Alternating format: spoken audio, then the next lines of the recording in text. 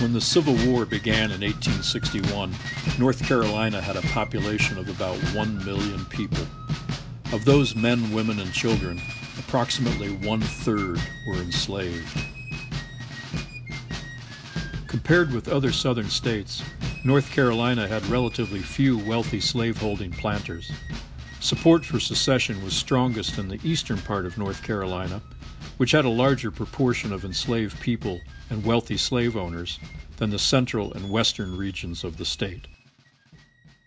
Um, when secession came, not all North Carolinians supported. it. The movement in North Carolina actually began probably in the 1850s when a fringe group of the Democrat Party, which was the conservative party in North Carolina, began to promote this idea that slavery needed to be defended outside of the Union, that a group of collective states, slaveholding states, needed to be on their own away from the power of the growing Northern uh, Republican Party.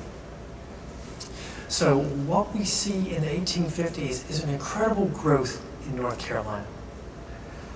The Whig Party, who was sort of the liberal party of North Carolina, had brought great reforms to North Carolina starting in the 1830s and really sought to, to bring North Carolina, to make it a modern state of the Union.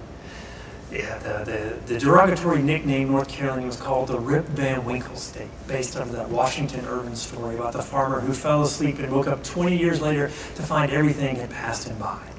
That's how the nation saw North Carolina. So the Whig Party instituted a number of reforms, starting with the state constitution in 1835, which expanded voting for North Carolina's white landowning. They also expanded the public school system. They also brought internal improvements to the ports of North Carolina, and most uh, uh, significantly were the railroads, the Raleigh the Gaston Railroad and the North Carolina Railroad, which gave so many access to foreign markets the agricultural production exploded during this time period. So it was a time of great plenty and prosperity and freedom for many North Carolinians.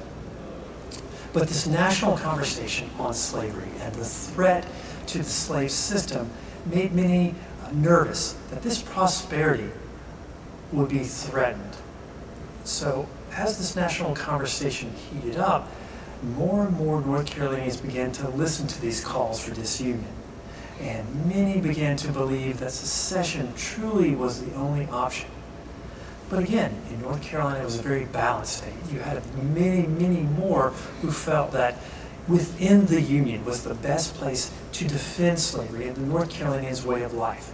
That secession meant not only tearing up that uh, the very the foundation of the country and the state that North Carolinians had paid a high price for during the Revolution, and to throw that away um, was folly and bred only problems that could be solved in the most dismal of ways. And if you look at North Carolinians, we really held the principles and those revolutionary leaders to our heart. You can see behind me the, the, top, the painting that is a copy of a very famous one done by Thomas Sully. On the grounds of here at the Capitol is another um, uh, statue of George Washington. In 1860, perhaps one of the most famous sculptures to ever arrive in North America. The, the, Antonio Canova's statue of George Washington, commissioned by the state, was here in the state capitol. So North Carolinians not only loved Washington, but the essence of the revolution and all of it stood for, and really uh, celebrated the 4th of July long after many southern states had turned their back on this holiday.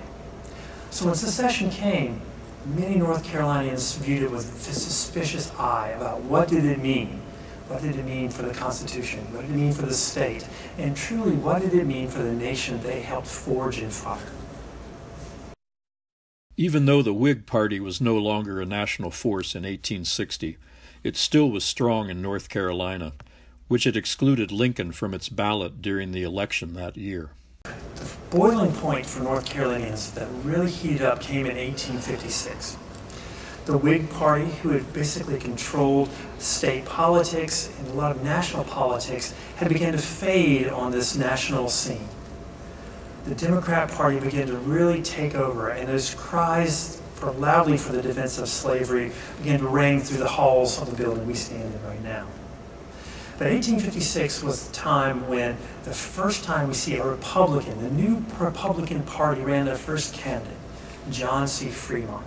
And this began to really make North Carolinians, especially those, those, those state leaders, very nervous about what the Republican Party thought and what they were going to do about the institution of slavery.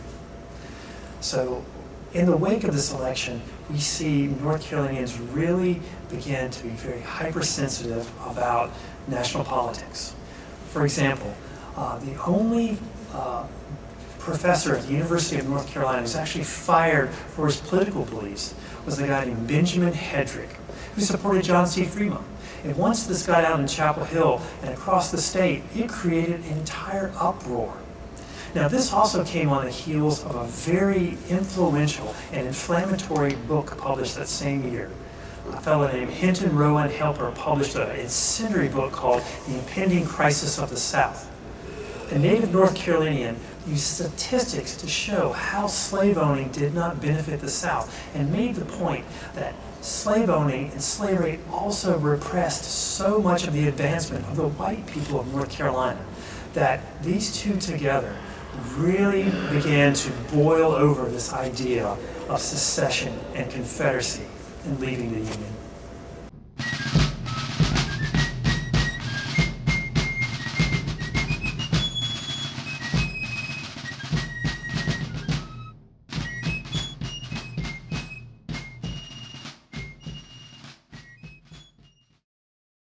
On May 1st, Ellis called a special session of the legislature and ordered seizure of all federal property. On May 20th, North Carolina became the 11th Southern state to leave the Union by a unanimous vote of delegates. Many Unionists, thinking the outcome inevitable, had skipped the convention vote a few days before. They chose that day, May 20th, for a very specific reason.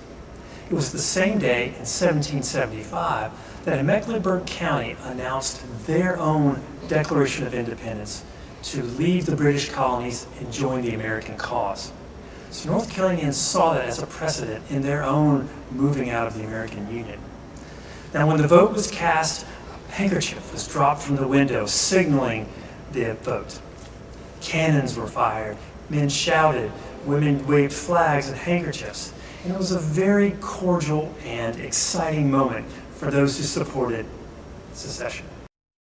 Despite its initial reluctance to leave the United States, North Carolina provided a significant number of soldiers and sailors to the Confederate cause, a total of about 130,000 during the course of the Civil War.